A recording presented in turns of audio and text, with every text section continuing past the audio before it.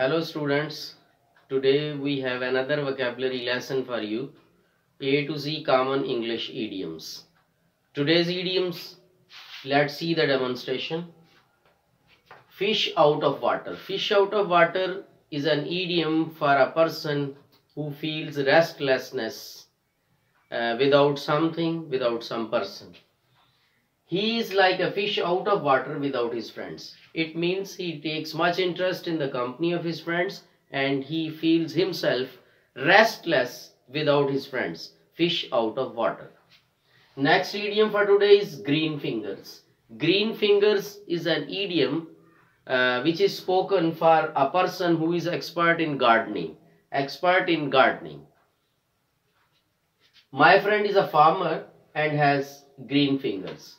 Obviously, my friend is a farmer, but he has green fingers. It means he is very expert farmer, not an ordinary type of farmer, but a very expert person in the field of agriculture.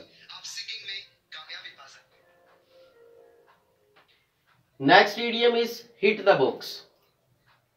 Hit the books mean to start studying seriously. To start studying seriously when some student is uh, not taking interest in studies and he at once started to come towards the study seriously it means he is hitting the books. Finding his exams near he hit the books. When the exams of a student came near and he started studying it means he is hitting the book. He hit the books. Next idiom for today is hit the bed Hit the bed mean go to sleep.